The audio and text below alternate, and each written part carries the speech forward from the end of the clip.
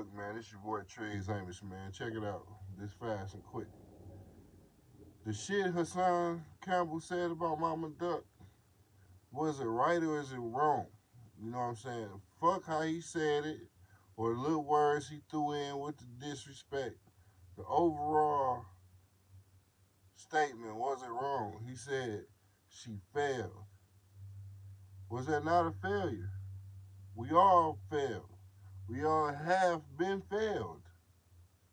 Coming up in the neighborhood, there's plenty of things motherfuckers could have did to do better, but they chose to do different. So yes, everybody failed. It could have been different. When you had the first child, you probably had the first child and you was in the negative already.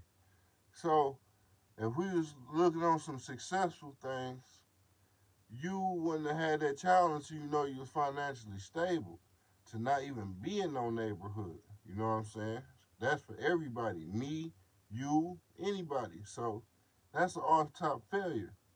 See, in the hood, it's like everybody wanna uh don't say nothing about that. Keep it on the hush. It'd be a whole molester at the family reunion and nobody say nothing. Everybody wanna keep it on the hush. Call out them flaws, it's okay. Ain't no disrespect because you call out a flaw. you know what I'm saying? Ain't no disrespect because you call out a flaw. We all have flaws, we all fucked up, we all fail. You gon' fail. Nobody planned to fuck up, it just happened, man. So maybe Hassan Campbell was real disrespectful, but overall, we all fail, including him and his mama subscribe to the channel, man. Triggs Amos Podcast. I'm out this thing. RP Duck.